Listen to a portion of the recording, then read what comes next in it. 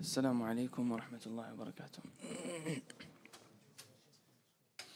بسم الله الرحمن الرحيم الحمد لله رب العالمين وصلى الله وسلم وبارك على عبده ورسوله نبينا محمد وعلى آله وأصحابه أجمعين ما بعد The first point of today's lesson is the level of najasat the level of impurities So last week I said to remind me about the uh, different levels of najasat There are three levels. Najasa, impurity in the Sharia, is three different levels. The first level is النجاسة المخففة is the light najasa. والنجاسة المخففة light najasa. And this is what the author رحمه الله تعالى mentions here when he says وبول الغلام الصغير الذي لم يأكل الطعام لشهوة يكفي فيه النضح كما قال النبي صلى الله عليه وسلم يغسل من بول الجارية ويرش من بول الغلام رواه أبو داود والنسائي He says that this is the this is the najasa. This is the light najasa, and that is the urine. Urine of a baby boy below the age of two. A baby, yani below the age of two, a boy, as opposed to a female, right? The urine, so it's urine, not necessarily all of it's najasa, it's urine specifically. The urine of this baby who's below the age of two and who's a boy, who does not eat food, meaning its main source of nutrients isn't food. Its main source of nutrients what? Milk, right? Milk. That urine is considered to be the lowest level of najasa and is considered to be najasa mukhaffafa. What does that mean? What's the significance of that? It means that the, that urine, you don't have to wash it off. You don't have to wash it off. You don't have to do ghusl, ghusl of it. You don't have to wash it off. What do you have to do? You have to do a nadh. You have to, uh, the minimum is that you sprinkle water over it. So that's what it means by mukhaffafa, it's, it's light najasa. So the urine of a baby boy who's below the age of two and only, only drinks milk and its main source of nutrients, the way that you get rid of it is by sprinkling water over the area, making sure that the area where the, where the najasa is, or where the urine is, is covered by Alhamdulillah.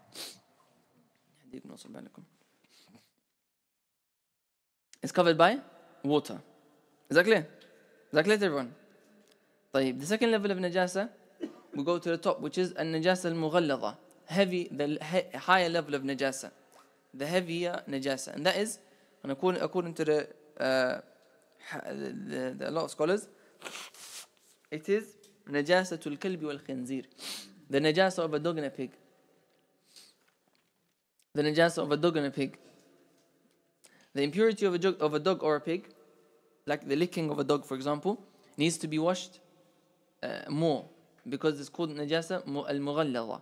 That's what that's why sorry it's called najasa al-mughalladha, the heavy najasa because the way it's washed is different. it's washed by washing the, the najasa off seven times.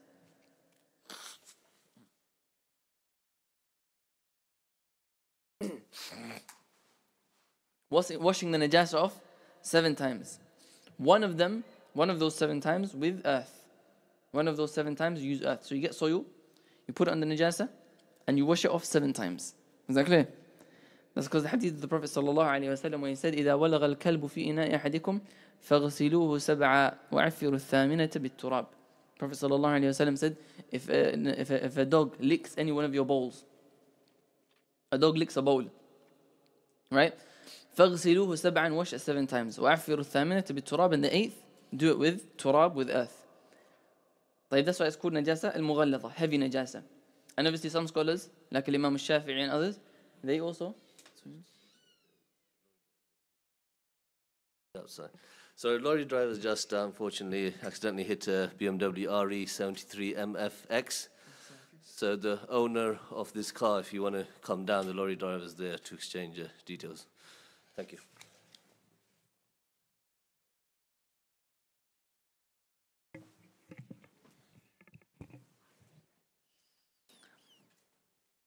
نعم the, the, the second level of najasa or the, the, the, the last level of najasa is النجاسة المتوسطة the middle level of najasa and that is سائر النجاسات all other types of impurity all other najasa that we mentioned last lesson right you guys remember last lesson we mentioned the different najasat all other najasat come under this category Why is it mutawassita in the middle level? Because you wash it off until what the author mentions here. He says وإذا زالت عين النجاسة طهر طهر طهر المحل ولم يضر بقاء اللون والريح. The author rahimahullah ta'ala says that when the najasa goes away, you have to wash it until the najasa goes away. Then after that, whatever's remaining in terms of smell that you can't remove and color that you can't remove, then that's overlooked.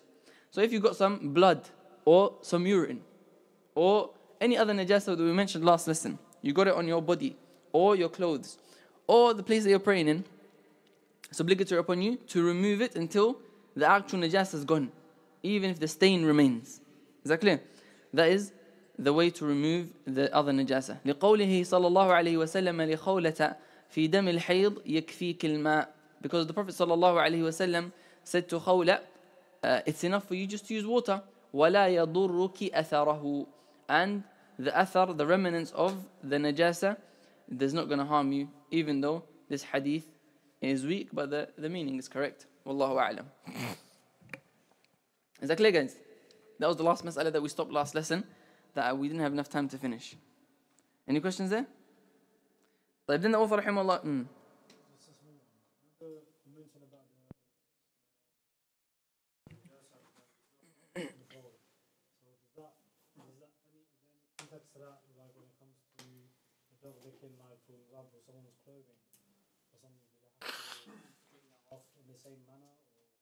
Yeah. So the najasa of a dog or a pig, which is the liquid that comes from it, whether it's sweat or whether it's um, whether it's the, the, the saliva or the sweat or the urine of the dog or the pig. If it touches anything, you have to wash it off. Yani from your body, your clothes, or your place of prayer, or the bowl as well. And this is the opinion of a lot of scholars. You have to wash it off seven times. One of them with earth because of the hadith. That answer the question? طيب Babu sifatil wudu. In this chapter, he mentions how to do wudu. وهو, and it is, what is wudu? Uh, uh, wudu is one of the conditions of the salah. The Prophet sallallahu alaihi wasallam told us in a hadith, لا يقبل الله صلاة أحدكم إذا أحدث حتى يتوضأ. And Allah does not accept the salah of any one of you if you go into the state of hadath until you do wudu. حتى يتوضأ. And Allah subhanahu wa ta'ala tells us the characteristic or the sifa how to do wudu in the Quran. And this ayah in Surah Al-Ma'idah, ayah number 6, is an ayah that everyone should memorize if they want to know the sifa of wudu properly. And that is when Allah says in the Quran, يا أيها الذين آمنوا إذا قمتم إلى الصلاة فاغسلوا وجوهكم وأيديكم إلى المرافق وامسحوا برؤوسكم وأرجلكم إلى الكعبين. That's the end. That's the that's the end of the part which speaks about wudu. Then after that, it speaks about tayammum. Right? Babu sifatil wudu. So how to do wudu? The author rahimahullah ta'ala says the first step of wudu and the first pillar is أن ينوي رفع الحدث أو الوضوء للصلاة ونحوها والنية شرط لجميع الأعمال من طهارة وغيرها The first thing that you must do in wudu is have the intention. That's the first pillar of wudu, النية. Where is that in the ayah? In the ayah when Allah says, يا أيها الذين آمنوا, Oh you have iman. إذا قمتم إلى الصلاة when you intend to get up for the salah meaning إذا نويتم القيام للصلاة when you intend to get up from the, to the salah فاغسلوا then do this and that he mentions how to do wudu but the first first part was what النية the intention so it's not enough for a person to jump into a swimming pool without any come out and then he says hold on I could have just had wudu right I jumped into this ocean I come out I have wudu no you have to have had intention to do wudu is that clear? So it has to be an intention. And he says here, وَالنِّيَّةُ شَرْطٌ لِجَمِيعِ الْأَعْمَالِ Niyyah, intention is a condition for all actions. من طهارة وغيرها Whether it's purification or other than purification. It's a condition for every action. And that's because of the hadith of the Prophet sallallahu alaihi wasallam where he said, إِنَّمَا الْأَعْمَالُ بِالنِّيَّات Actions are by intentions. And this is a principle in our Sharia again. Remember last week we mentioned some of the five major principles, right? Do you guys remember that? Did we mention it here?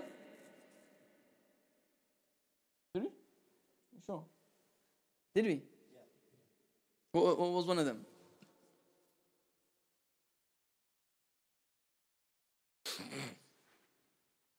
How was one of them? Certainty can't be removed by doubt, right? طيب أحسنت I did mention it here. I'm just checking. I can't remember. طيب So and النية الأعمال بالنيات actions are by intentions are one of is also another one of the five major principles. Right? and innama al-a'malu. Actions are by intentions. Again, why is it one of the five major principles in our Sharia? Because it goes into every single uh, uh topic of fiqh. In salah we use it. In zakah we use it. In yani if someone gives charity, and he gives it gives charity at the time where his zakah is due, and it's the amount that it is due, and he gives it to a person that deserves zakah. Has he given zakah? Without if if, if he didn't have if he had the intention of sadaqah or just charity, has he given zakah? He had the intention of sadaqah, charity. Has he given zakah? Even though it was the right amount to the right person at the right time. Has he given zakah? No. We say to him, go give zakah again, with the intention this time. Is that clear? Hajj, same thing. Everything. Someone goes around the, the Kaaba seven times looking for his child. He says, oh, done seven times, that's tawaf. I've done my umrah. I've done part of my umrah. Has he done it? No, he hasn't.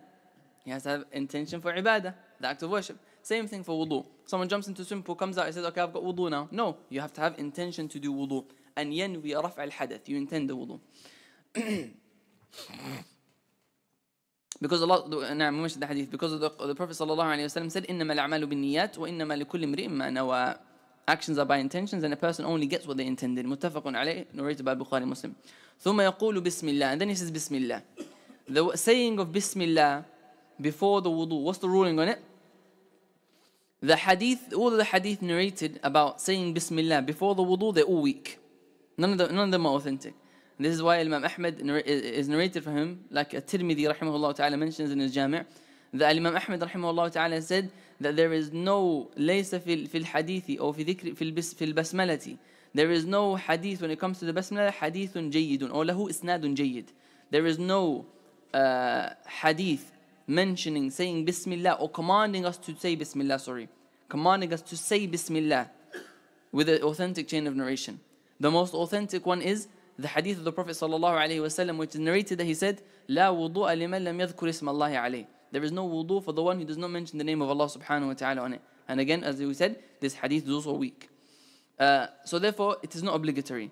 But it is sunnah to say Bismillah. So this one that he mentions here, it is ثم يقول بسم الله سنة that it is sunnah. Obviously, the author what he means is what he means obligatory, because Ali Shaykh Abdul Rahman Nasr al-Sa'di is Hanbali, and the the Hanbalis they believe saying Basmala, saying Bismillah is wajib, is an obligation.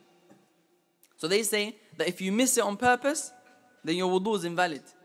You on purpose, you remember to say Bismillah, but you don't say it your wudu is invalid.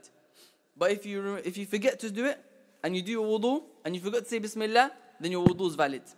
That's the Hanbali opinion. Hmm? Yeah, if you're in the bathroom, same thing. You're not allowed to say Bismillah in the bathroom. So the person should go out, according to them, should go out and say Bismillah and then go do wudu. Right? Um, that is the opinion of a sheikh. That's what he's saying. But again, as we said, the other opinion of Imam Ahmed, and also the opinion of uh, the majority of the scholars, is that Bismillah is Sunnah. Because of the hadith narrated by Al Bayhaqi, that he said, the Prophet ﷺ said, Tawadda'u Bismillah. Do wudu in the name of Allah. so therefore, it's Sunnah to say Bismillah, but there is no hadith that is authentic mentioning that it is a condition or a obligation or an obligation. Is that clear? Even though this is an opinion of many scholars, from amongst them being the author, and from amongst them being the main mu'tamad madhab of Imam Ahmad rahimahullah ta'ala. Then he says, وَيَغْسِلُ كَفَّيْهِ ثَلَاثًا And then you wash your two hands three times. Kafayhi is up to the wrist, the hands up to the wrist. Washing the hands up to the wrist. Washing it three times. And this is from the sunan of wudu. This is, an, again, a recommended act of wudu as well. This is a recommended act of wudu. Washing the hands three times before starting the wudu is recommended. Right? As for washing the hand later on, which we're going to mention, then it's a pillar. But washing the hand before starting the wudu is recommended. If, unless in one, in one situation, where is it obligatory for you to wash your hand? In, in the morning? I said, when you wake up, whether it's the morning or not. When you wake up from sleeping, when you wake up from sleeping. Some of the scholars they say when you wake up from sleeping at night.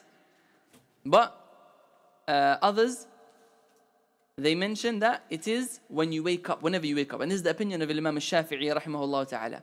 That whenever you wake up. Why? Oh, sorry, no. Mm.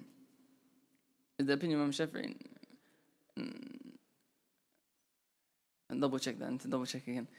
Um, this is the opinion of, of a lot of scholars that washing the hands whenever you wake up, not just nighttime. Because others they say no, it's just nighttime. نعم الإمام الشافعي صح yeah. الإمام الشافعي says whenever you wake up whenever you wake up whether it's nighttime or not so whenever you wake up from sleep it's obligatory upon you to wash your hands before you put, put your hands into the water okay obviously there's difference of opinion I'll mention it just because I did mention Imam Shafi'i himself that the opinion of Imam Shafi'i is that it's sunnah from when you sleep when you wake up and the opinion of Imam Ahmed is that it is obligatory when you wake up at night time. And another opinion of Imam Ahmed, and this is the one that is taken by a lot of my teachers, is that it is obligatory. This is one, this is what we're going with, yeah? We're going with this one. It is obligatory whenever you wake up, whether it's nighttime or not. So therefore, we say, it is obligatory for you to wash your hands whenever you wake up from a deep sleep. It's obligatory upon you to wash your hands from whenever you wake up from a deep sleep before putting your hands into water. You shouldn't put your hands into a bucket of water. So if I say I have a bucket of water, I shouldn't put my hands into it and take the water out to do wudu. Right? right? I shouldn't put it in and, and then wash my hands with it. And this is an obligation, wallahu a'lam. Because of the hadith of the Prophet sallallahu alayhi wasallam when he said, إذا استيقظ أحدكم من نومه فلا يغمس يده في الإناء حتى يغسلها ثلاثا فإن أحدكم لا يدري أين باتت يده When one, one of you wake up, then do not dip your hands into the water until you wash it three times. Because one of you, you do not know where your hand's been at night. That shows that, where, eh, obviously that's why a lot of scholars, they say, it's just at night. Because the hadith says at night, right? But obviously the reasoning is the same. Night or day, it's both sleep. So the scholars, they say, no, that was nighttime because majority of our sleep is at nighttime. So that's why the Prophet mentioned it at nighttime, as, as nighttime. But in reality, it is every sleep that breaks your wudu. Every deep sleep you should wash your hands. You have to wash your hands before you put your hands into the water.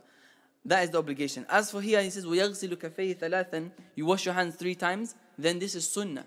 This is recommended, unless you woke up, unless you just woke up from sleep. Why? Because of the hadith of Uthman, radiallahu ta'ala anhu. And also the hadith of Zayd ibn Khalid, radiallahu ta'ala anhu. That they mention that when they were doing wudu, أكفع على يديه بالإناء. They would take the container and they would pour, they would pour the water onto their hands. فغسلهما ثلاثا. Then they would wash it three times. ثم أدخل يده في الإناء. Then Uthman رضي الله عنه would put his hand into the water after that. So at the beginning, what do you do? He would take the, the water bottle, pour it on his hands, and then wash it. And then after that, he'll put his hands into the water. So therefore, it's sunnah for you to wash your hands before that.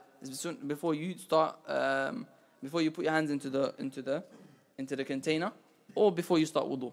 طيب then he says, is that clear guys? So it's obligatory when you wake up, sunnah any other time.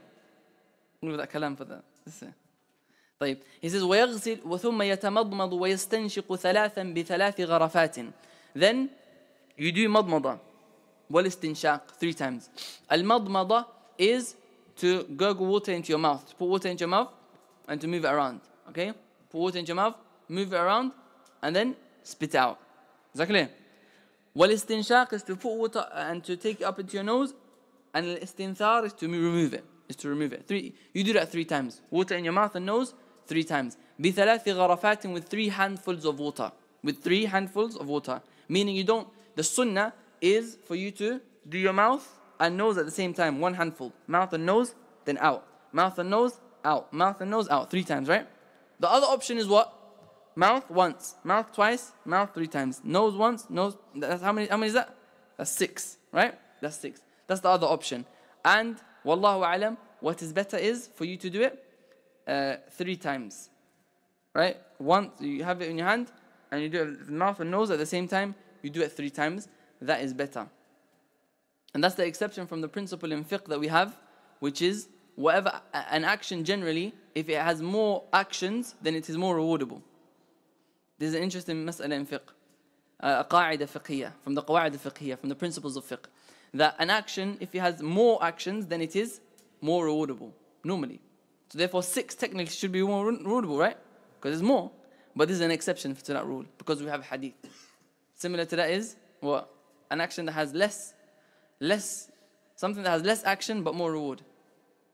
The two sunnah of Fajr, the two sunnah of Fajr is better than Salatul Duha, even if you make it long. Hmm? Doing ihram from the miqat is better than doing it from your house, even though you're going to be in ihram for longer. And they mention a lot of different exceptions. Anyway, بثلاث غرفات. What's the evidence? The hadith of the Prophet صلى الله عليه وسلم that he said, إذا توضأت فمضمض. The Prophet صلى الله عليه وسلم said, when you do wudu, then مضمض, do مضمضة. يعني put the water in your mouth and split, spit it out. Uh, ويستنشق ثلاثا and the hadith of uh, Ali ibn Abi Talib and the hadith of Uthman and the hadith of Zayd ibn Khalid, they all mentioned al-madmad wal-istinshaq. Put your mouth, water in your mouth and water in your nose and blowing it out. These are, what's the ruling on this? According to the Hanbalis and according to the author, it is obligatory. It's a pillar of wudu. It's part of the face, part of washing the face. That's according to him. ثم يغسل وجهه ثلاثا and then he washes his face three times then he washes his face three times this is a pillar of wudu so number four and number five are pillars of wudu. So so far look, we got number one, intention is a pillar. Bismillah is what? Sunnah. According to the author is what? No, no, according to the author here, Shaykh Abdul Rahman Nasr Sa'di and. It is a wajib, obligatory. So it's not a pillar. What's the, what's the difference between a pillar and a, a wajib? I mean, I mentioned it. Yeah, I said Bismillah. If you, if, you, if you forget intention, is your wudu valid? If you forget Bismillah, is it valid according to the author? Yes, it is. If you, if you leave it on purpose, you don't say Bismillah on purpose, is it valid?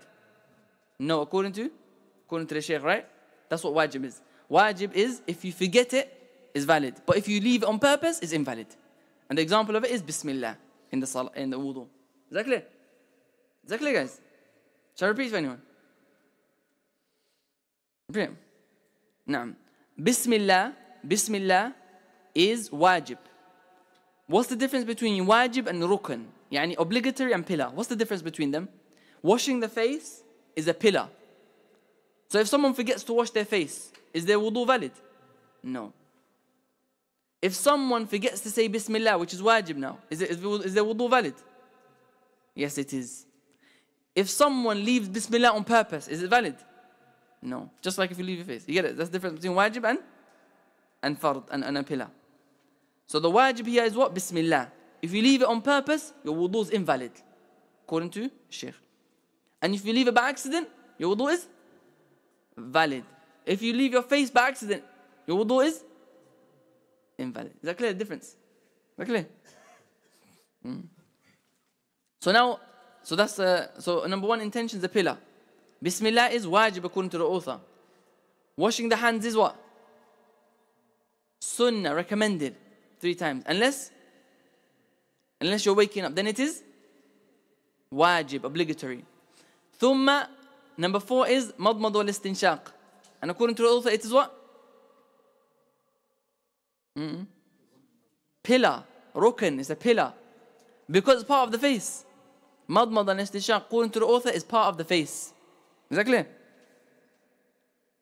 ثم يغسل وجهه ثلاثا washing the face. What, what did we say about washing the face? Hmm? Pillar. It's a rukn. Meaning, what does it mean by pillar? If you miss it, it's invalid. That's what it means in the Sharia. If, if, if I say a pillar, what's a pillar of Hajj? Arafah. Therefore, if I miss Arafah, what's, what's my Hajj? Invalid. A pillar of Salah is Suratul Fatiha. Therefore, if you miss Suratul Fatiha, your Salah is invalid. What if you miss it by accident? Still invalid. Is that clear? نعم. So he says ثم يغسل وجهه ثلاث. What's the face? What is the wajh? What is the face? They say ما تحصل به المواجهة. Anything that you face someone with. Right? That's, what, that's why it's called the face. Because تحصل به المواجهة. Right? What is it in the Sharia? What do you have to wash? What do you have to wash? The whole head? No, no. The face is from the original hairline. The original hairline to the chin.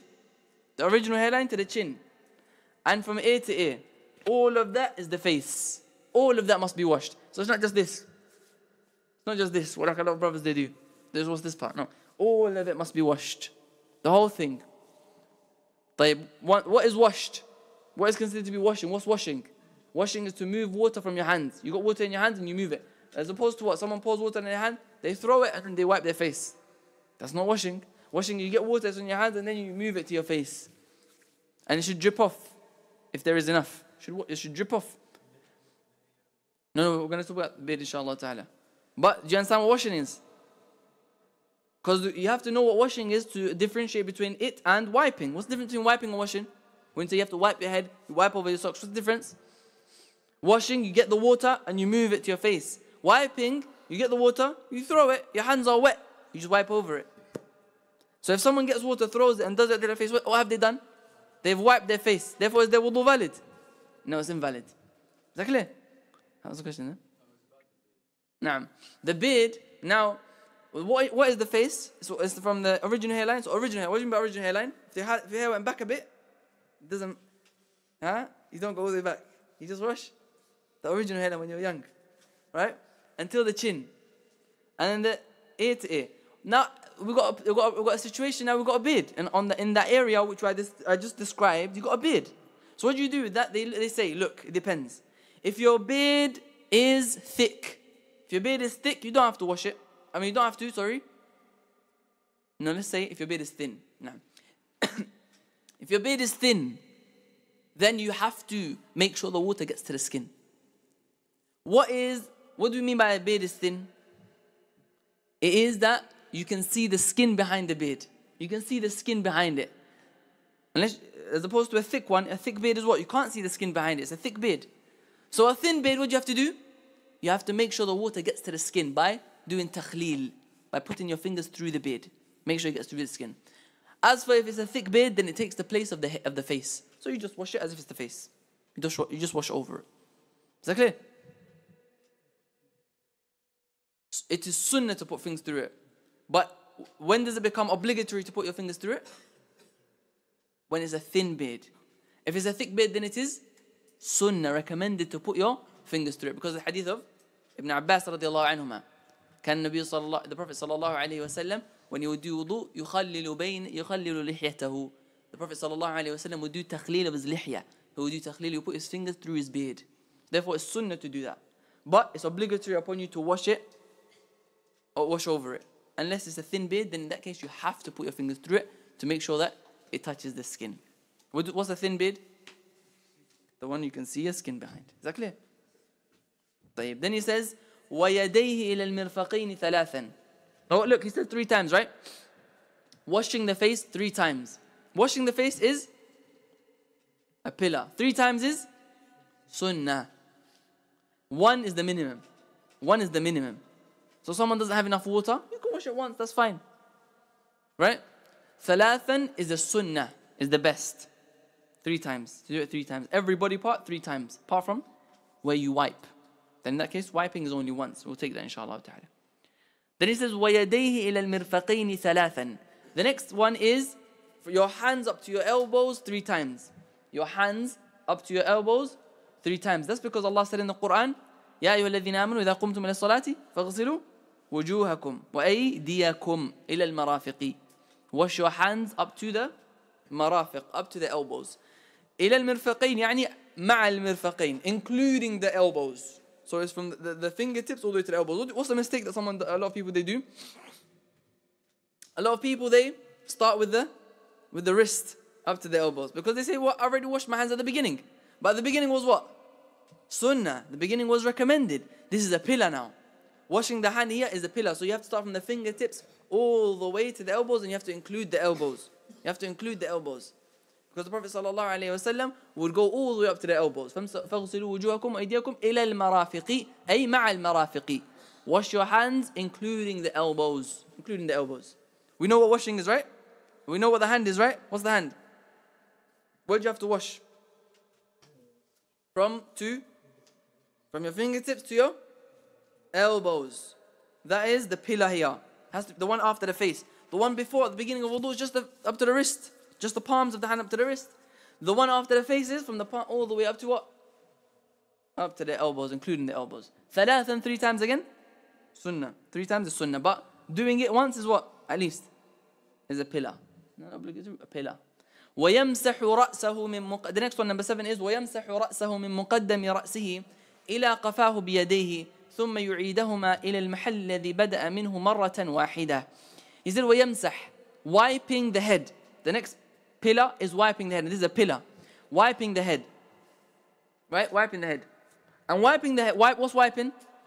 Is to have wet hands مبلول مبلولة اليدين Your hands are wet and you do imrar you, you run over it You run over the area that you want to wipe So your hands are wet and you just want run over the area So when it comes to wiping We wipe the hair um, we, wipe the, we wipe the head That's the pillar Wiping the head He says من مقدم رأسه From the beginning of your head all the way to the back إلى قفاه until the back That is the pillar Doing it once Then after that, when he says ثم يعيدهما إلى المحل الذي بدأ منه مرة واحدة, then you go back up. That second time is sunnah. The second time is is sunnah because the minimum is what? What Allah said in the Quran, وَامْسَحُوا بِرُؤُوسِكُمْ Wipe your heads. Wipe your heads. And going back up is is sunnah. طيب, we know what wiping is. And then he says مرة واحدة once. Did I mention to you guys the principle in the Sharia when it comes to wiping? The principle in the Sharia when it comes to wiping in wudu is that you only wipe once. Al-mash is always once. Where do you wipe in wudu? Your head. What else? Your socks. What else? Huh? Your imamah. If you're wearing a turban which is hard to remove, someone's wearing a turban that's hard to remove, you're allowed to wipe over it. The ears. You wipe over your ears. You wipe in your ears, right? The khimar. For the woman who's wearing hijab, the khimar. She wipes over the khimar, she's allowed. According to the Hanbali, it's allowed. You're allowed to wipe over the khimar. We have a hadith for that. There's a hadith mentioning uh, wiping over the, oh sorry, wiping over the turban. And the khimar is also allowed. Naam, the khimar is also allowed. What else do you wipe over? Khimar, the hijab. Yeah, and the headscarf The headscarf. The khimar is a head is a headscarf. So the specific one that's wrapped over around the head. The jilbab is what's put on top and covers the rest of the body. Hmm? طيب. What else do you wipe? Last thing.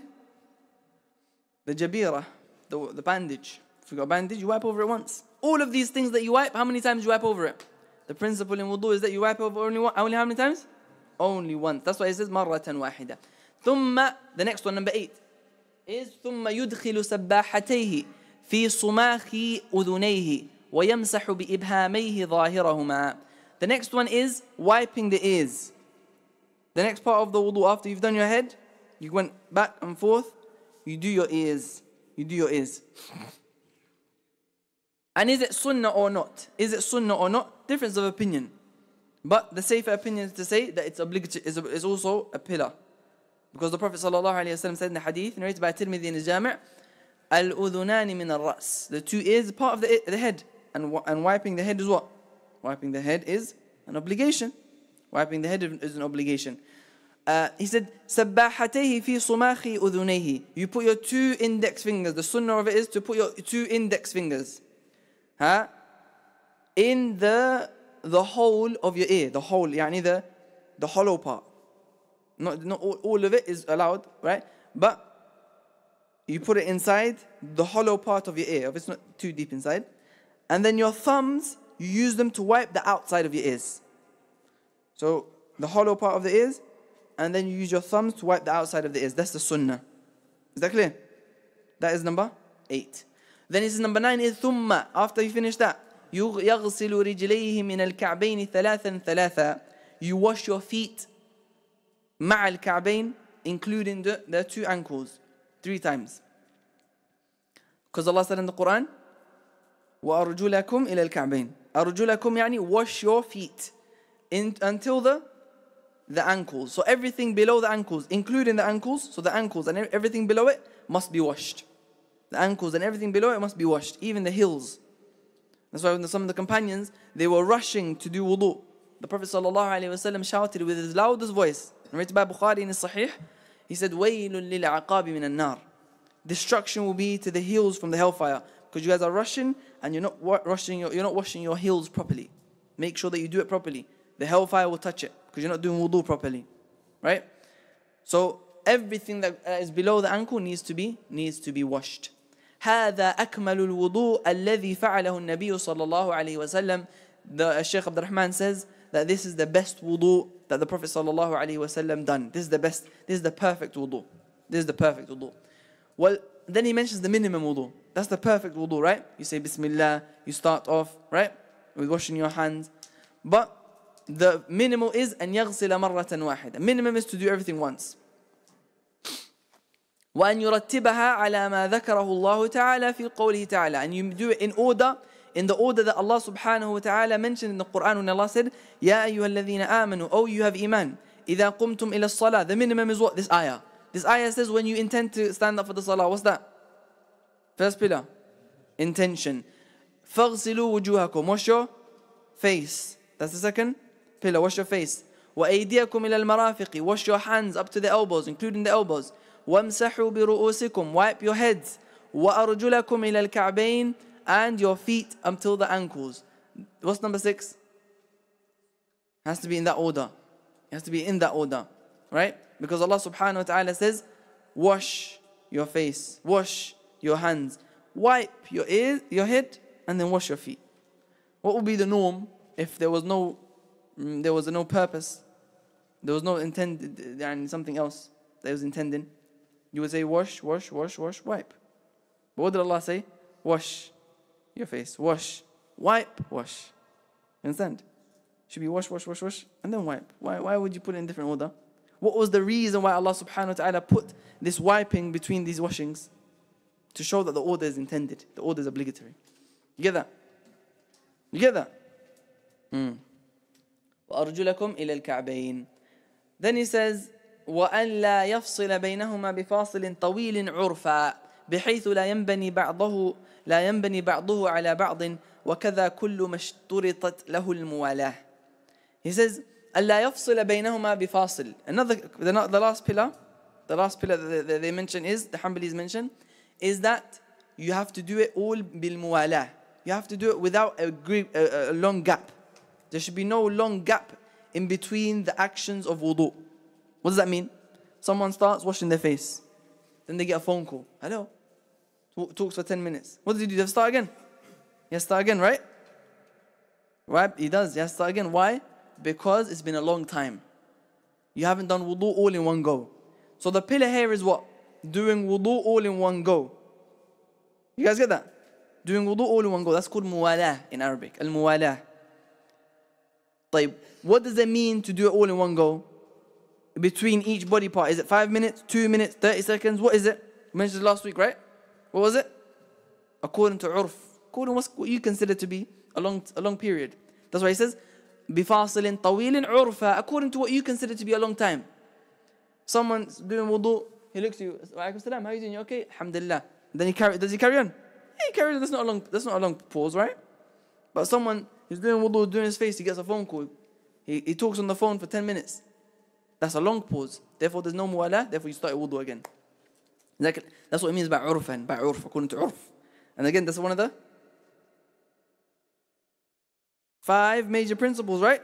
This is one of the five major principles in the Sharia. So he says certainty is not removed by doubt. عرف العرف محكمة or العادة محكمة.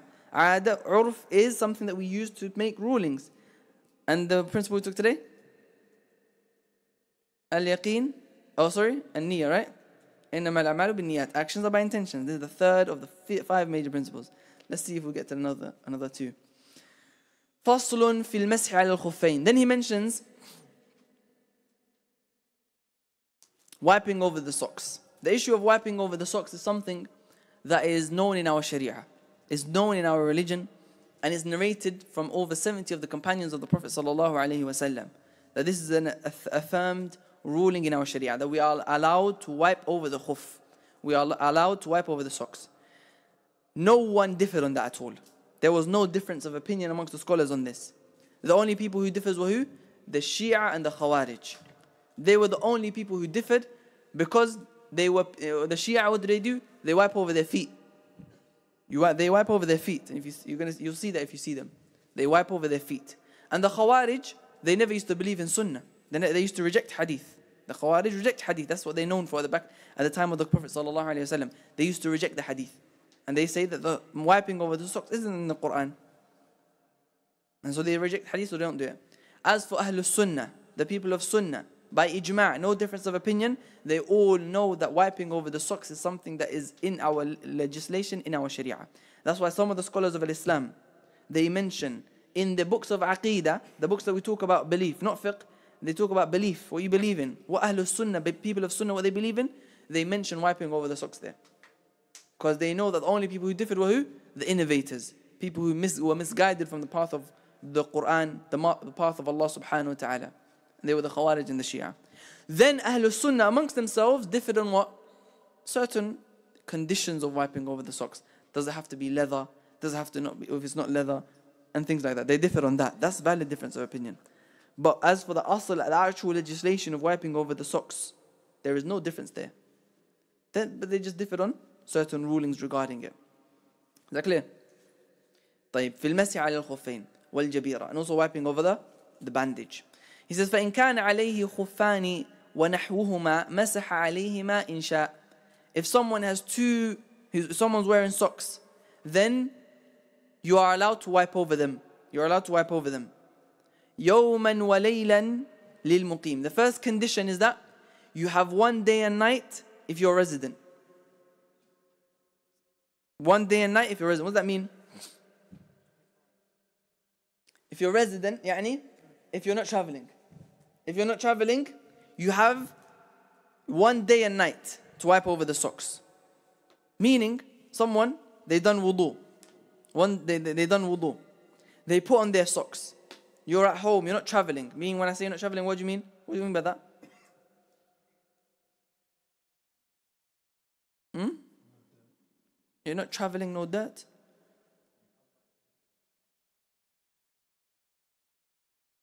But what if you're, I think Reading's kind of small, huh? What about London?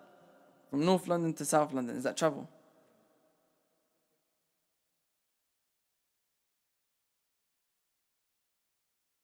There's no difference of opinion on this one. On this one, there's no difference of opinion. This one here, there is difference of opinion amongst in terms of travel, but in the example I gave here, there's no difference of opinion. Either yes or no. Are you a traveler from? Okay, look, from my house to Heathrow Airport takes me one hour and forty minutes. Or actually, no, it depends which house. North London, it's forty minutes. If I'm in East London, one hour and forty minutes sometimes, depending on traffic. Am I a traveler? Why? Ahsant. Naam. When you're in the city, you're not a traveler. When you're in the city, no difference of opinion. You're, not a traveler. Even if the city is big, right? Now the difference of opinion of when I when I leave my city, how far do I have to intend to go to be a traveler? And if I'm, I'm from London, I'm coming to Reading, am I a traveler? Difference of opinion now. But we're not a traveler. We're not. Allahu Alam. Not a traveler. London to, to Reading is not a traveler. It's not a travel. And to be honest, even then, is there, is, is there even a valid difference of opinion? Because some scholars, they say it goes back to urf. Remember we said urf, right? Customs. If we consider it to be a travel. But if London to Reading, I don't think anyone considers that to be a travel. London to Reading?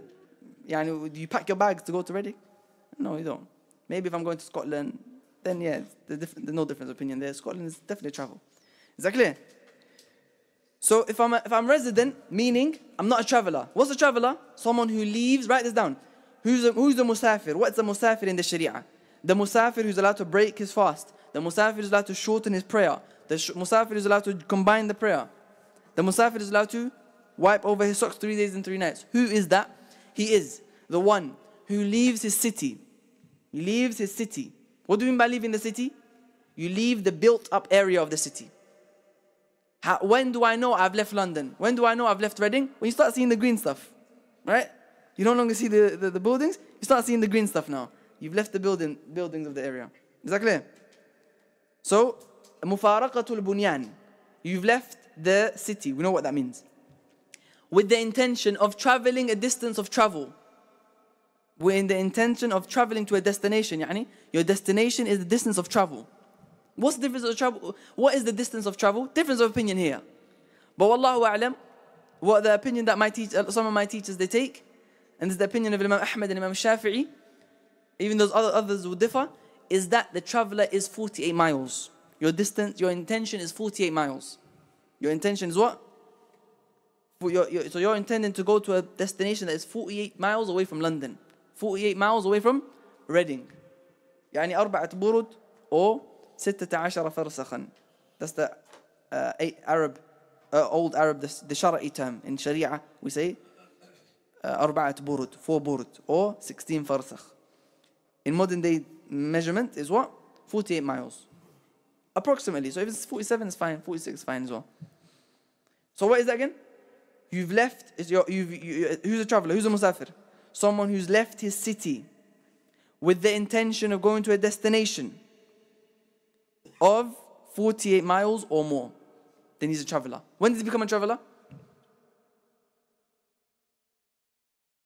So if I leave London and I'm on the way, I'm not a traveler? Mm. When does he become a traveler? Huh? From his intention. Yani I'm, I'm in London, I'm intending to go to holiday tomorrow, I'm a traveler. Ah, come on guys, you have to be daqiq. Fiqh is very, very, very precise.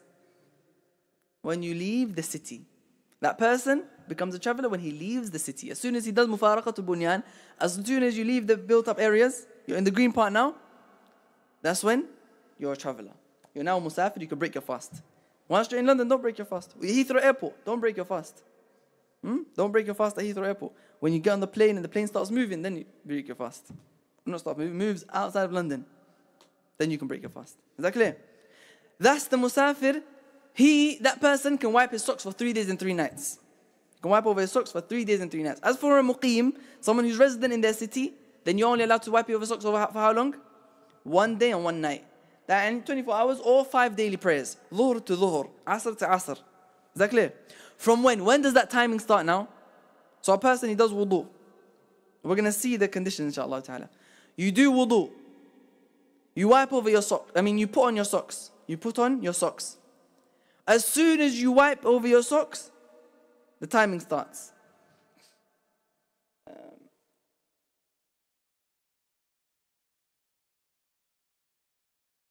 As soon as you wipe over your socks, the timing starts. 24 hours starts. Wiping over socks, the 24 hours starts. You can now break your wudu, wipe over. Break your wudu, wipe over. Break your wudu, do another wudu, break, wipe over. Another for 24 hours, as much as you want, as long as you don't take off the socks. As long as your socks are on, you can break it, do wudu, break it, do wudu, break, it, and you can wipe over every single time. Once 24 hours is up, you have to take off your socks now. And then you have to wash it if you want to do wudu. Is that clear? Is that clear? Huh? Let's look at the other conditions, we'll, we'll become more clear inshallah. He says, so one day and one night for the resident, and three days and three nights for the traveler. بشرط أن يلبسهما على طهارة with the condition that you wore the socks whilst you had wudu. And if someone woke up in the morning, put on socks, they go, they want to do wudu, can they wipe over it? No. You have to have had wudu, you done wudu, you woke up in the morning, you done wudu, then you put on your socks. Then you broke it, now you can wipe over it. As long as you didn't take it off after you broke it. Right? Is that clear? So the, the important thing is here is that you wore your socks whilst you had wudu, full wudu. And if a person does wudu, is doing wudu, he does his right foot, and then he put on a sock, and then left foot, put on a sock. Is that correct? No. He has to finish his wudu fully, then you can put on your socks anytime. As long as you have that wudu, you can put on your socks and you can wipe over them. One day and one night. That's what it means by بشرط أن يلبسهما على طهارة. ولا يمسحهما إلا في الحدث الأصغر. The next مسألة, he says that you only wipe over your socks in wudu, not ghusl. حدث الأصغر, minor حدث. Remember we spoke about حدث, right? First lesson. Remember, right? First lesson we spoke about حدث. Only in wudu you're allowed to wipe over your socks. Ghusl, someone, they wake up, they're in the state of janaba. They had their socks on, alhamdulillah. But they're in the state of janaba. That person has to take off his socks to have a bath. Can't, you can't wipe over it for ghusl. Then he says, وعن أنس بن مالك رضي الله عنه, Anas bin Malik narrates from the Prophet صلى الله عليه وسلم when he said, إذا توضأ أحدكم, if one of you do wudu, ولبس خفيه, and you wipe over your, and you're wearing your socks, فليمسح عليهما, then wipe over them. وليصلي فيهما, and pray in them. ولا يخلعهما إن شاء إلا من جنابه. And don't, you don't have to take them off, except if it's janaba, then in that case you have to take it off to do ghusl. Narrated by Al-Hakim, وصححه, and says authentic. He says, فإن كان على أعضاء وضوئه جبيرة. نعم, so that is the مسألة of wiping over the socks. Wiping over the socks. affected if someone's sock, let's say, slipped Not like fully off, but to a degree. Yeah, so it also, he didn't mention a lot of these things, so that's why I was gonna- I was going to stop now and mention the full conditions of wiping over the socks. Scholars they say wiping over the socks have, has conditions. Number one is that you wore them fi kamal tahara whilst you were fully pure, meaning you done wudu. Wudu with water. Yani you washed your feet with water in that wudu. That, that's what it means by ala tahara. Number two is that the socks, they must be socks that cover the whole foot, including the ankle. Therefore, can you wipe over ankle socks? No, because the ankle's not covered. Obviously, uh, what comes under this one is what about socks that have holes in it? Scholars they say, uh, as Ibn Taymiyyah and others, they mention that even if it has some holes in it, it's fine because they're still considered to be socks, so it's fine. The condition is that as long as it covers the ankle, you can wipe over your socks even if it has some holes in it. Sahaba radiallahu anhum, they used to wipe over the socks. Number three, they say that the socks must be made from pure material. So it can't be socks made from pig leather or dog leather or anything like that. Impure najas, impure material. Number four is that you wipe over it within the time, one day and one night for the resident and three days and three nights for the traveler, for the musafir. Now we mentioned those are the important things. The fifth one now there's difference of opinion. What socks do they have to be? Some of them they say it must be strong socks that you're able to walk in. Others they say it must be leather, leather socks. And Ibn Taymiyyah rahimahullah, he takes the opinion that as long as there's something that is it is considered to be socks, then you're allowed to wipe over them. As long as it's considered to be socks, you're allowed to wipe over them. Wallahu a'lam. Why? He looks at the illah, the reasoning why this ruling was allowed for us in our in our religion. Why was this ruling allowed for us in our religion? To make it easy. And this is the fourth major principle. Fourth major principle. Ad-deen yusr. Religion is easy. And again, it has examples everywhere. That's why it's called what the five major principles, because these examples are everywhere. The religion is easy. Tahara. If you can't do wudu, do tayammum. If it's hard, wipe over your socks. It is hard, wipe over your socks. Ad-deen yusr. The religion is easy. So, does this now, this illah, this reasoning, does it apply for leather socks and normal socks? Cotton socks? Does it apply for it? It does. Because the same reasoning, taking off your socks and taking off your socks, same thing is hard, especially in winter. Therefore, we just wipe over it, right? And wiping over cotton socks was narrated from uh, many companions, from amongst them being Ali ibn Abi Talib and others, that you're allowed to wipe over the cotton socks or other material other than leather. So that, that leather material is not necessarily a condition. Number six, the sixth condition, they say that the socks they stay on. They're not socks that you know if you move, then and you're just standing somewhere and if you move they're gonna fall off. No, no. Well, socks, socks that stay on by itself. You don't have to. They st- they stay on by itself. When that happens now, you can wipe over your socks with those conditions. As long as the example of it is what? Khalas, I, I woke up in the morning. I done wudu. I put on socks. These socks they meet all of the conditions to be proper socks that I'm allowed to wipe over. They cover my ankle and everything. I put them on. After I've, done, I've just done wudu, I put them on. طيب, I go to work. Now I lose my wudu. I go to the, I use the bathroom. I lose my wudu. What can I do? I can do wudu, start doing my wudu, and wipe over my socks. You can wipe over, wipe over your socks. Then I pray Salatul Dhuhr with that. Then I break my wudu. I go Salatul Asr. I can wipe over my socks. I pray Salatul Asr. I take off my socks. Can I pray Maghrib? You can. Why? I didn't break my wudu. I didn't break my wudu. I just took off my socks. طيب, I took off my socks. I prayed Salatul Maghrib. I put on new socks. I lost my wudu. Did I put my socks on with wudu or not? You did, right? It was Maghrib. I, I didn't, I didn't have socks on. I prayed Maghrib. And then I put on new socks. And I still had wudu. Right? I did. Right? Everyone with me? Shall I repeat that? Okay. Can I wipe over them? Why?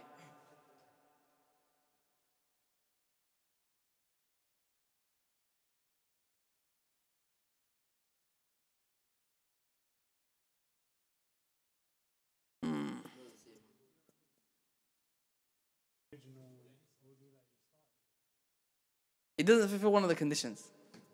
Which one? Hmm? But what, I didn't say that one of the conditions is the same socks. We'll look at the conditions and see which one doesn't fill. I have intention. I done it for Allah.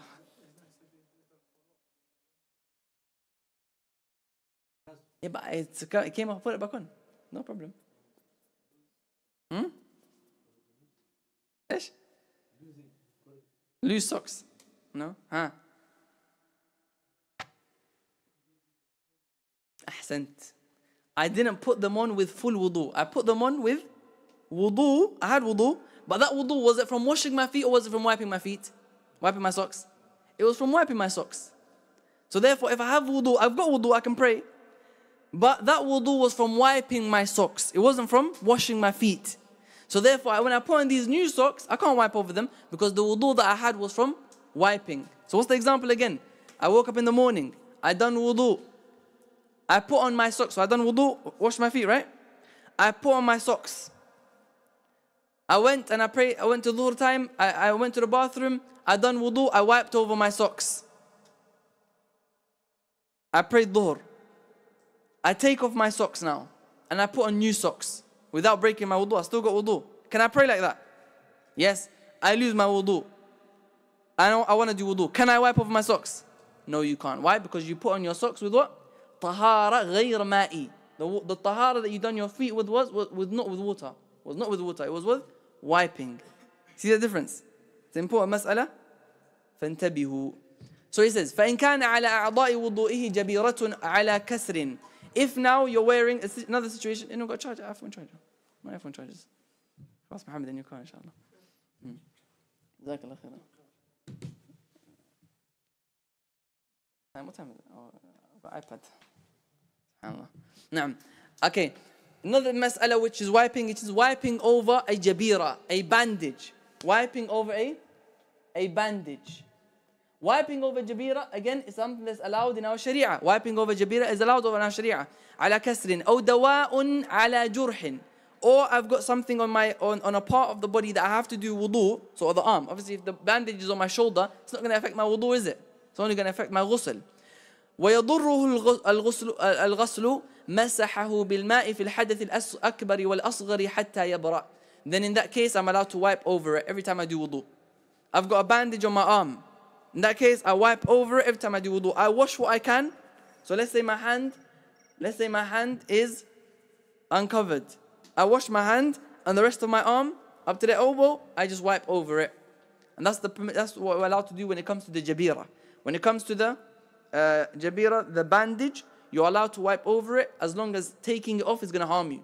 Instead of taking it off, you just wipe over it and you wash what you can. Mm. Taking a step back for that example you gave before, uh, where the person wore different socks. Mm.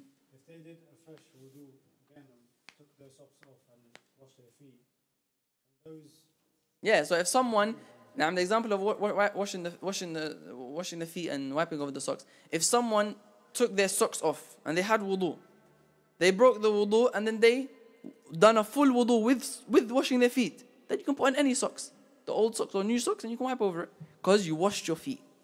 So the question you have to ask yourself is what? This wudu that I have, did I wash my feet for it or did I wipe my socks for it?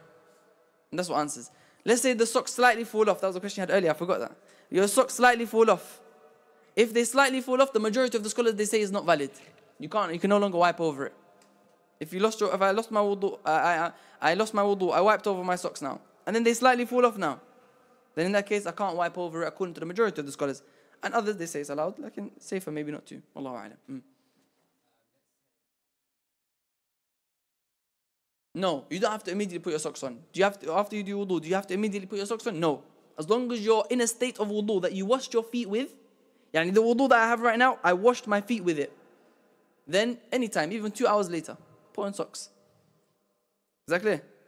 طيب على الجبيرة now wi- wiping over the bandage. Wiping over the bandage in wudu is allowed, right? You just wipe over it, you wash what you can. And in ghusl, if you have to do ghusl, then you wash your whole body and you wipe over that part which you can't. It's going to harm you if you're going to take off the, the bandage. It's going to harm you. Whether it's الأكبر or أصغر.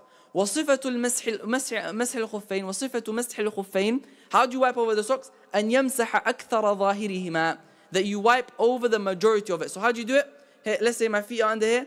I take I, I, I get water which is wet and I wipe over the top of my feet. the majority of the top, all the way up to the ankle. The majority. So it doesn't have to be everywhere, but the majority of the top. So you get your hands and you open it a little slightly wide and you wipe over one time. You, you, you don't do, you can do right and then left first, no problem. But you do both feet at the same time, one time all the way up to the ankle. Is that clear? And that's because of the hadith of Ali ibn Abi Talib radiallahu anhu when he said, radiallahu anhu, when he said, لو كان الدين بالرأي لكان أسفل الخفين أولى بالمسح من أعلاهما. If our religion was based on our opinions, then wiping the bottom of the sock would have more right than wiping over the top. But our religion is not by opinions. Someone says, okay, I'm going to wipe the bottom. Why? Because I walk with the bottom of my, that's where the dirt touches. So I'm going to wipe the bottom. We say, no, that's not the religion. The religion is not according to what you think. The religion is according to what Allah subhanahu wa ta'ala did. So here in this, in this hadith, what Ali is saying, radiallahu anhu is saying, that wiping over is over the top. Then he says, وَأَمَّا الْجَبِيرَةِ فَيَمْسَحُ عَلَى جَمِيعِهَا As for the, the, the, the bandage, then you wipe over all of it. The bandage or the cast, you wipe over all of it. If it's wudu, on the part where you're doing wudu on, and if it's on ghusl, then wherever it is. Subhanahu wa ta'ala a'lam. Next lesson, inshallah ta'ala, we'll take nawaqidul wudu, the things that break the wudu. Um, we'll take questions from here. Wallahu a'lam wa sallallahu ala nabina Muhammad wa ala alihi wa ashabihi ajma'in. Alhamdulillah rabbil alameen.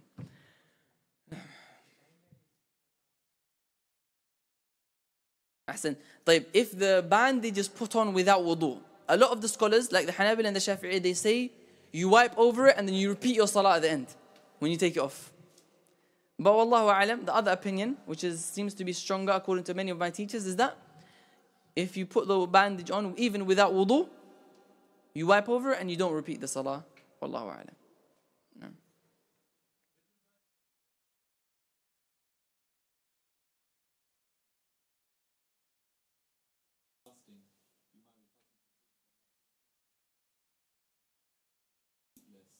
No. Is, is intention, are you allowed to have two intentions? It depends. In the example that you gave where if I'm fasting, I'm doing it for the sake of Allah, but also I'm getting the benefit of losing uh, dieting. Or you're doing tawaf and your, your, your, your, your, intention also, another intention, you're doing it for Allah, but I'm also doing it, so I'm, I'm, I'm, walking in tawaf, I'm doing a lot of walking. Then that is allowed. That's fine. As for another intention, you're doing it for, you you have two intentions. You're, you're fasting Monday and Thursday, but you're also making up the fast that you made up that you didn't do in Ramadan. That's also allowed. You're fasting in the first 10 days of the Hijjah, because the best days of the year. And you have the intention of making up the, the Ramadan. That's also allowed. You're praying two rak'ah in salah. Your intention is the tahiyyat al-masjid, but also the two rak'ah of wudu. It's allowed. What's not allowed is intentions that you can't combine. For example, someone says that I am praying the two rak'ah before Fajr, but my intention is also Salat al-Fajr. Doesn't make sense. Can't do that. Hmm? What's also not allowed, and the shirk billahi azza wa jal, is for a person to intend that I'm doing tawaf, but I'm also doing it for the people to praise me. Wal'iyadu billah. That's showing off riyah and that's haram. Mine shirk. Shirk billahi subhanahu wa ta'ala. So that's the different levels of intention. It depends. Do it for people to praise you, shirk. Which doesn't take the person out of Islam. You had a question?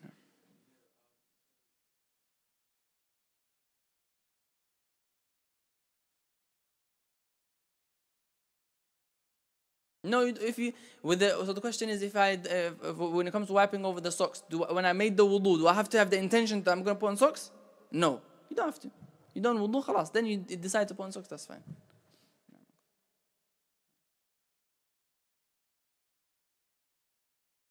Yeah. So if you if you can yeah, if you can wash your feet, is it better for you to wipe over your socks or is it better to, to take off your socks and wash your feet? Scholars they differ on this issue, and some of them they say it's better for you to wipe your socks. And that's because of the hadith uh, of, of uh, Al-Mughira ibn Shu'bah that he said ذهبت لأنزع خفيه توضأ رسول الله صلى الله عليه وسلم the Prophet صلى الله عليه وسلم done wudu then I went to take off his, his socks and the Prophet صلى الله عليه وسلم said to me دعهما فإني أدخلتهما طاهرتين leave my socks because I put them on whilst I had wudu. Therefore, it's better to wipe over. And this is the opinion of the Hanbali. Ibn Taymiyyah, rahimahullah he goes, goes to a different opinion, he says that it depends, whatever your situation. If you're wearing socks, don't take them off. And if you're if you got if you're not wearing socks, don't put on socks just to wipe them. That's better. But you're allowed to do both. You're allowed to do both. If I'm putting on, if I'm wearing socks, I can take it off and wash my feet. If I've got wudu and I want to do, and I'm, I know I'm going to go to the bathroom, but I don't want to wash my feet, I'm allowed to put on socks, go to the bathroom and wipe over it. I'm allowed. But what's better? Good question. What's better? We say, Wallahu alam, whatever you, however you are. Don't put on socks just to wipe over it, and don't take off your socks just to wash it. Wallahu alam. So Ibn Taymiyyah says, that's better. Mm. Mm. Yeah.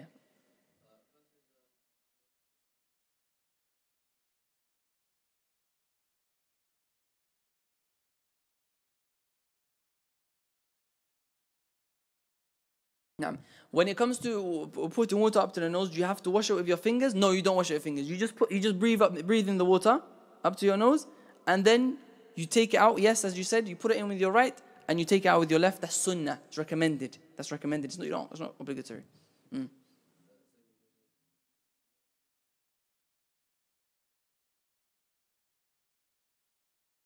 Um, do you have to put your hand, your, your, your, your the water in your hand, in your palms, and then let it wash down to the go trickle down to the elbow? You're allowed to do that, and you're allowed to put it over the tap. Both is fine. Both is fine. Should we wipe the neck? No. Wiping the neck is not sunnah, and it's not narrated from the hadith of the Prophet sallallahu. Even though some scholars they take it, lakin wallahu alam, there's no hadith for it. There's no authentic hadith for it, so it's, it's closer to bid'ah than sunnah. Wallahu alam.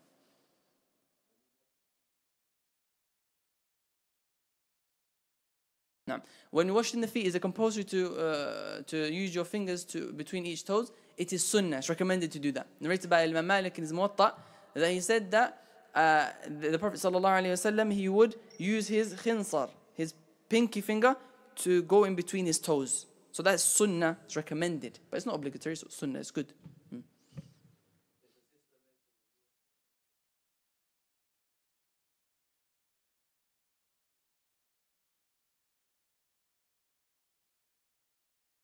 Now, if a, if a sister uh, break, break, she does wudu at home and then she breaks it while she's out, she has to do wudu. She, she has to wash her hands, wash her face, uh, and all of that. But obviously, she can wipe over her khimar. She's wearing the hijab, right? So she can wipe over it.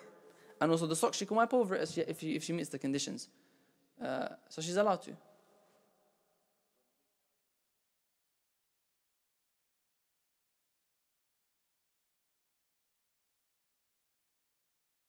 No uh, doing ghusl, having a shower, it depends. If it's from janaba, if your ghusl, you woke up in the morning, you're in the state of janaba, for example, then in that case, your ghusl is enough. You can that's wudu for you. Your ghusl, because you're removing major hadith, you also remove minor hadith, so you have wudu. But if it's just a normal shower, wasn't from janaba or anything like that, then you have to do, you have to have the intention and do wudu. Wallahu a'lam.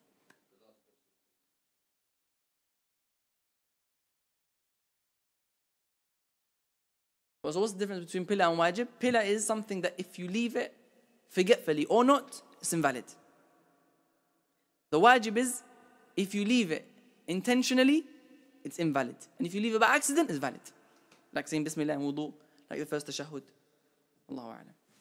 At the back there. The dua after the wudu is narrated in Tirmidhi in his Jami' that the Prophet sallam would say, أشهد أن لا إله إلا الله وحده لا شريك له وأشهد أن محمدا عبده ورسوله. And also is added اللهم اجعلني من التوابين واجعلني من المتطهرين some scholars say that part is weak لكن it's, it's allowed والله أعلم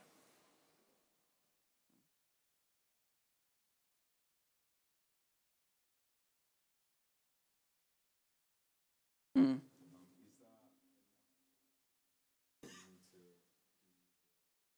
Same thing as the question of the sister. If you do, if you wake up for, for Jum'ah, uh, you're going to Jum'ah and you do ghusl, you do ghusl for Jum'ah. Then it depends. If it's in the state of janaba, then it's enough for your wudu. And if you're not in the state of janaba, so it's not a wajib ghusl, you're not in the state of janaba, then in that case you have to also do wudu with it. Wallahu a'lam. Yeah, if you do wudu within the ghusl, then that's fine, you have wudu as long as you intended it.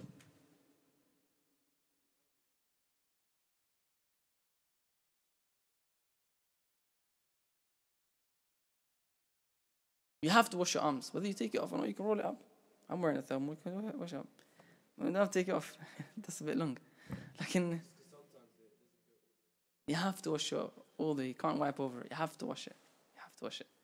Whether you take it off. If you have to take it off, that's the last option. Like I wouldn't recommend that be the first option.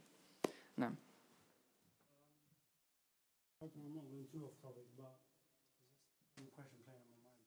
Can a woman lead other women?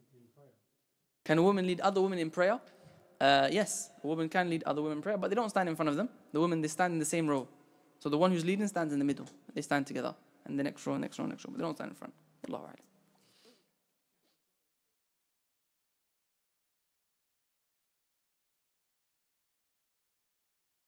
Naam, so shoes. Do if you, can you wipe over the shoes? If the shoes cover the ankle, then you can. And if they don't cover the ankle, you can't. Naam. Alhamdulillah. You can wipe your shoes if they cover the ankle. Same condition. If they don't, then you can't.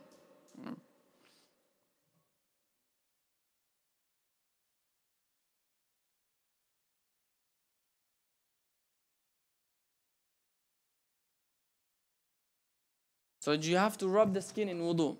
Do you have to rub the skin in wudu? No, you don't. It's sunnah. Rubbing the skin in wudu is sunnah. So if someone just takes put water on their face without doing dilk, then it's fine. Sunnah. If someone puts, as long as it goes on the face from the hands, from the hands, it's fine. Rubbing it is sunnah in ghusl and wudu.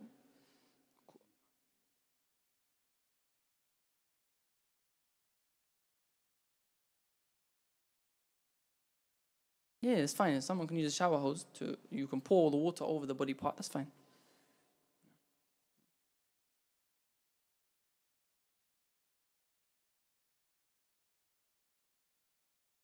Sisters with long hair, how do they wipe? They wipe the head. So you don't have to go all the way down to the bottom of the hair. They wipe the head and they go down from the top.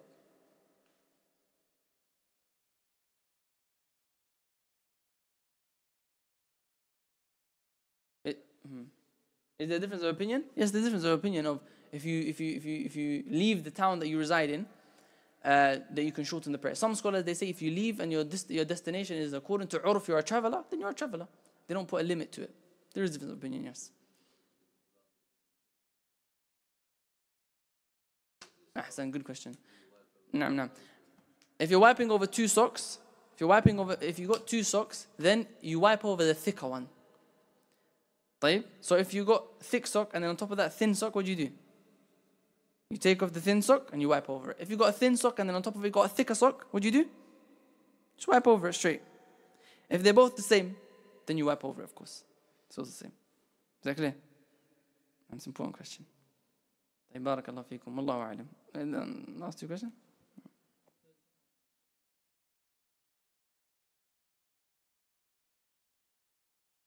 Uh, Ibn Ibn Taymiyyah's opinions that he's alone in Nadir Khan as opinions in the madhab, it depends.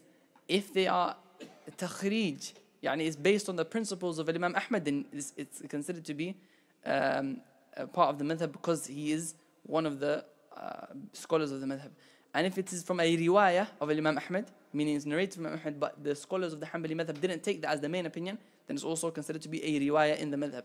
But if he went out of that, he went completely out of the, out of the usul and out of the, then Allahu Alam, if that even occurs, and I'm not an expert of the Hanbali madhab, I don't know.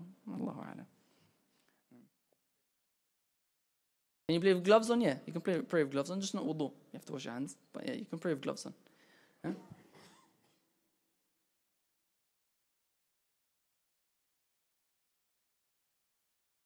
Now, qasr, shortening the prayer as a traveler, is sunnah. Sunnah, and it's a emphasize sunnah. It's emphasize sunnah. Except in what situation? Number one, you don't shorten your prayer if you're praying behind someone who is praying full. So if the imam is praying full, you don't stop halfway, you pray, you pray two, you. no. By ijma', Ibn Munzir says, by ijma' you don't do that. Rather you pray, and Ibn Abbas said this is the sunnah, that you pray with the imam four, four. Other than that, it is sunnah for you to pray qasr, if you're a traveler.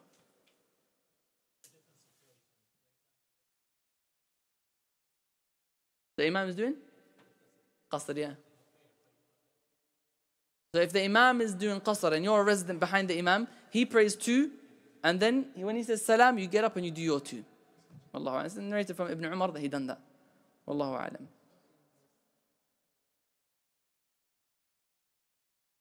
If you're joining on the third rak'ah, uh, and the imam is doing four, and you're a traveler, you do four as well. Even if you join in the last tashahud. Even the imam about to say salam, and you join, you do four. Huh? Because you're praying behind a muqim. You're praying behind someone who's a, who's a resident. So you do, you pray full as well. الله أعلم. صلى الله على نبينا محمد وعلى آله وأصحابه أجمعين والحمد لله رب العالمين. السلام